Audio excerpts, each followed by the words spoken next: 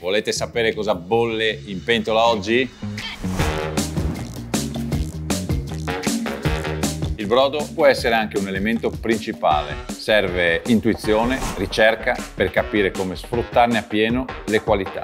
Nel mio corso vi presenterò 8 versioni di brodi, 5 classiche e 3 gourmet. Scopritelo!